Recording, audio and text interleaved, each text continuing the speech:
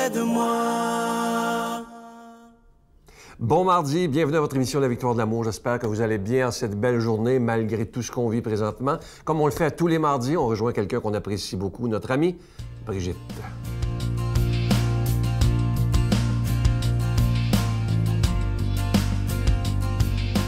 Bon matin tout le monde, j'espère que vous vous portez bien, que vous êtes euh, dans ce silence intérieur dont on a parlé la semaine dernière, cette attitude de la Vierge. hein. Là, on a une deuxième attitude, on, va en avoir sept comme ça, puis c'est des, des- des attitudes à adopter. On ne fait pas ça du jour au lendemain non plus, là. C'est à travailler, hein, puis, ben, à travailler. Le seul travail qu'on a à faire, là, c'est de s'enfermer dans sa chambre, fermer la porte. se met à. On peut se faire un petit coin de prière.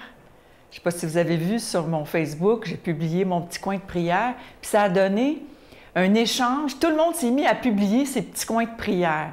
C'est très inspirant, c'est de ça qu'on a besoin. C'est ça qu'on a besoin. Donc, on se fait un petit coin de prière, on s'en va dans notre chambre, on ferme la porte, puis on se prend 15 minutes par jour, si vous voulez plus.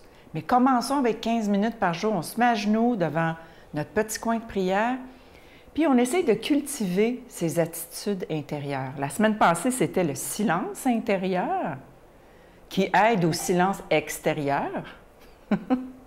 Et là, aujourd'hui, c'est l'écoute attentive. Marie avait une écoute attentive. Qu'est-ce que ça veut dire?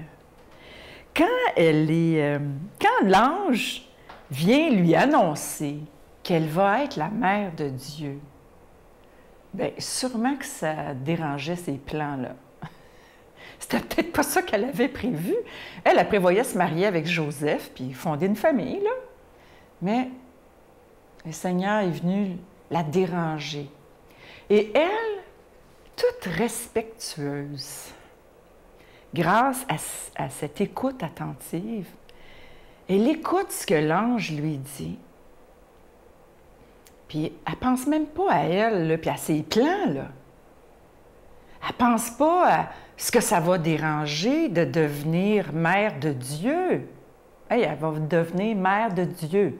Je sais pas si vous réalisez la mission qu'elle avait. Donc, elle pense même pas à tout ce qu'elle va devoir abandonner. Les abandons qu'elle doit faire dans sa vie, les lâcher prises, les renoncements, elle va, elle pense pas à ça. Elle demande juste, ben, comment cela se fera-t-il? Hein? Parce qu'on est en droit de se demander, euh, l'Esprit Saint, lui, il est capable de tout. Hein? Mais elle accueille. Elle accueille ce cadeau de Dieu. C'est ça qu'elle fait. En écoutant ce que le Seigneur lui dit. Alors, dans notre moment de prière aujourd'hui, qu'on va prendre de 15 minutes devant notre coin de prière, demandons la grâce de l'écoute attentive de ce que le Seigneur a à nous dire aujourd'hui dans notre vie, notre mission. Je vous souhaite cette grâce à tous et chacun. À bientôt.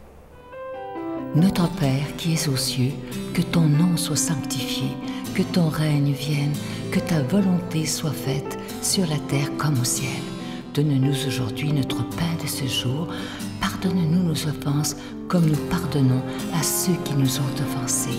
Ne nous laisse pas entrer en tentation, mais délivre-nous du mal, car c'est à toi qu'appartient le règne, la puissance et la gloire pour les siècles des siècles. Amen. Je continuerai à croire, même si tout le monde perd espoir. Je continuerai à aimer, même si les autres parlent de haine. Je continuerai à construire, même si les autres détruisent. Je continuerai à parler de paix, même au milieu d'une guerre. Je dessinerai des sourires sur des visages en larmes et je tendrai les bras à ceux qui se sentent épuisés. Oui, je continuerai à croire.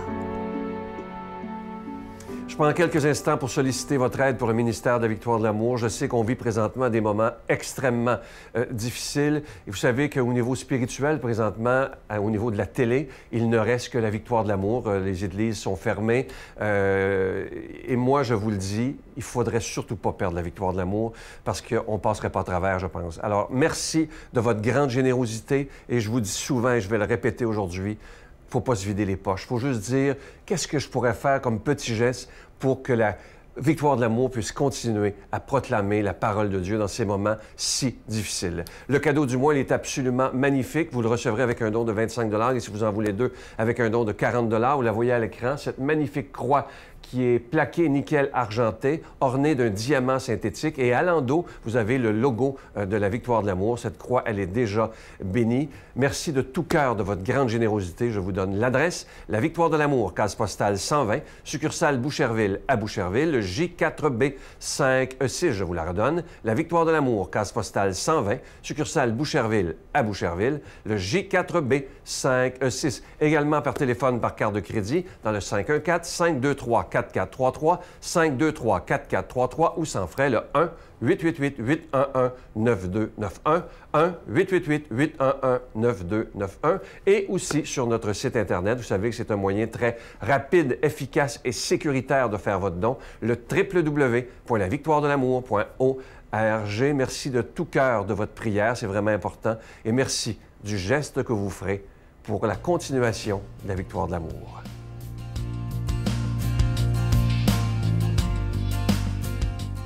Dieu, donnez-moi la sérénité d'accepter les choses que je ne peux changer, le courage de changer les choses que je peux et la sagesse d'en connaître la différence. Amen. Aujourd'hui, la parole de Dieu proclamée par quelqu'un qu'on apprécie beaucoup. Il est de Paris, le bon père Michel Marie.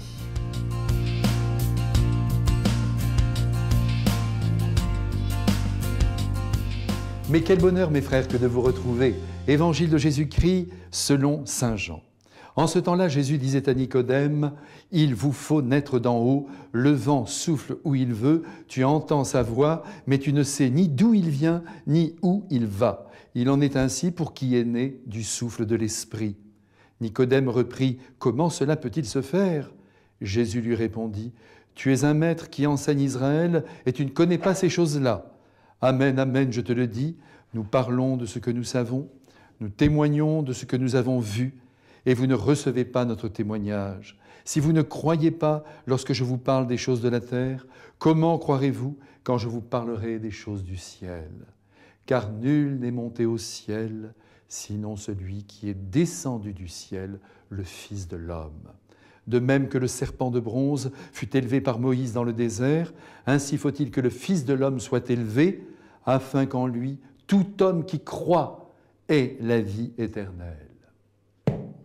Mes frères bien-aimés, il faut aujourd'hui saluer et honorer d'une manière particulière le peuple juif en la personne de Nicodème qui fut bouleversé par le Christ, sans doute en raison des miracles accomplis par ce Jésus originaire de Nazareth et dont l'enseignement l'avait sûrement déstabilisé. Aussi il demandera une audience à ce nouveau prophète dont il entend dire le plus grand bien mais aussi le, le plus grand mal. C'est en pleine nuit, loin des regards, qu'ils vont se retrouver tous les deux pour écrire ensemble l'une des plus belles pages, l'une des pages les plus éclairantes de l'Évangile. Jésus laisse entendre à Nicodème qu'il s'agit pour tout homme né en ce monde de renaître à nouveau. Spirituellement, c'est entendu. C'est-à-dire qu'il s'agit de renaître par le souffle du Saint-Esprit. On vient au monde sous le souffle de la mère qui pousse pour que l'enfant sorte au grand jour, et c'est la naissance biologique. Et voici maintenant qu'il faut renaître spirituellement sous le souffle de l'Esprit Saint qui vient de sa puissance nous donner de penser et d'agir, de vivre comme Dieu le souhaite. Renaître sous le souffle de l'Esprit de Dieu revient à se laisser conduire par lui. Pour prendre un seul exemple, mais très frappant, Marie n'a vécu que sous le souffle de l'Esprit de Dieu. Elle s'est laissée conduire par lui. Elle a donc marché non selon ses goûts et ses attraits, mais avec la volonté de correspondre à ce que l'Esprit de Dieu lui soufflait. À Cana, vous vous souvenez, lorsque le vin manqua, c'est une histoire si connue, elle adressa une parole au serviteur qui résume au fond toute sa vie. Écoutez-la bien, cette parole. Quoi que ce soit qu'il vous dise, faites-le, comme pour dire attention. Quoi que ce soit qu'il vous demande, attention, ce que mon fils peut vous demander peut paraître étrange, car l'Esprit souffle où il veut et on ne sait pas où il va. Cet Esprit Saint, mes frères bien-aimés, si nous le recevons au jour de notre baptême, il peut aussi être donné aux hommes par d'autres canaux que nous ignorons. Marie en fut remplie sans avoir été au préalable baptisée. Vous me direz, elle était immaculée, c'est vrai. Mais Siméon, par exemple, qui accueillit la Sainte Famille au Temple de Jérusalem, l'Écriture dit bien qu'il était captif de l'Esprit Saint, rempli d'Esprit Saint. Oui, mes frères bien-aimés, l'Esprit va où il veut et fait ce qu'il veut, je le redis avec toute l'autorité du Christ. Dans ce passage d'Évangile, nous entendons aussi le Christ nous révéler qu'il n'est pas un homme comme un autre. Et c'est très bien qu'il insiste sur ce point, car nous pourrions avoir la tentation de le considérer comme un homme extraordinaire, comme un grand sage, mais un parmi beaucoup d'autres. Non. Le Christ habitait le ciel avant de venir sur la terre. Il est la deuxième personne de la très sainte Trinité. Il est bien aussi le Fils de l'homme. Et voilà d'ailleurs un titre qu'il aimait particulièrement. Ce titre, comme vous le savez peut-être, signifie qu'il est à la fois un humain, c'est-à-dire un véritable homme, mais aussi il est ce fameux personnage mystérieux annoncé par le livre de Daniel au chapitre 7, ce personnage que l'on voit descendre du ciel dans la nuée et à qui lui est donné domination, gloire et royauté à exercer sur tous les peuples et sur toutes les nations de la part du vieillard dont parle Daniel, mais qui est Dieu notre Père. Voilà la véritable identité du Christ dévoilée sans détour à Nicodème, qui ne pouvait ignorer la prophétie de Daniel. À notre tour maintenant de recevoir cette bonne nouvelle et de grandir, oui, de grandir dans la confiance envers le Christ, aujourd'hui roi du ciel et de la terre.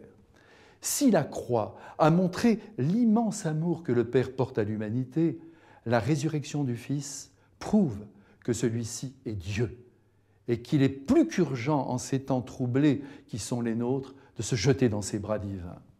À travers moi, il vous bénit ce Christ, avec le Père et l'Esprit Saint. Amen. Je vous salue Marie, pleine de grâce. Le Seigneur est avec vous. Vous êtes bénie entre toutes les femmes, et Jésus, le fruit de vos entrailles, est béni. Sainte Marie, Mère de Dieu, priez pour nous pauvres pécheurs maintenant et à l'heure de notre mort. Amen. Avant de vous quitter, j'aimerais répondre encore une fois si vous saviez comment il y a de gens qui m'écrivent soit sur Facebook ou au bureau pour me dire ou me demander, mais surtout pour me dire que ce qu'on est en train de vivre, c'est un châtiment de Dieu, Dieu qui punit l'humanité. Quand je lis ça, je me prends la tête à deux mains puis je me dis, mais voyons, donc qu'est-ce que c'est ça? Le Dieu auquel nous croyons, le Dieu de Jésus, est un Père aimant un père de tendresse. Pensez-vous qu'il ferait ça à ses enfants? C'est inimaginable. Dieu, présentement, c'est pas lui qui nous envoie ça. Ça fait partie de la nature. Mais je suis sûr, s'il laisse et s'il permet que ça arrive, c'est sûr qu'on va apprendre quelque chose. On ne sera plus jamais les mêmes êtres humains. On va changer. Ça, j'en suis convaincu.